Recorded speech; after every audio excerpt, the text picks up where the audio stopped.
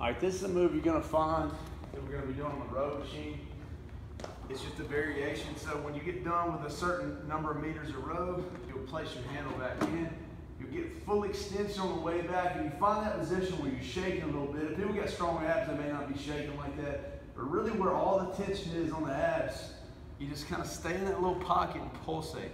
And you'll find, you know, when people are doing this wrong, you don't want to have arms out in front of you because that counteracts your body weight. That makes the movement easier. Tell people they're trying, this ain't a vacation. We ain't trying to take it easy in here, right? So you want to get hands behind the head. You can even get a weight behind there if you want to add tension. Hands on the chest. If there's somebody that's really overweight that needs some help getting up, then they can kind of throw their arms ahead of them a little bit, but make sure they're not fully extended. Another thing you want to do is make sure they're not coming all the way up. So it's really just a two, three inch movement. That way they're keeping that tension and that angle on the abs the entire time, keeping that pressure. After they get done with that, they may resume a row or go to another movement. But that is pulsating sit-ups on the row machine.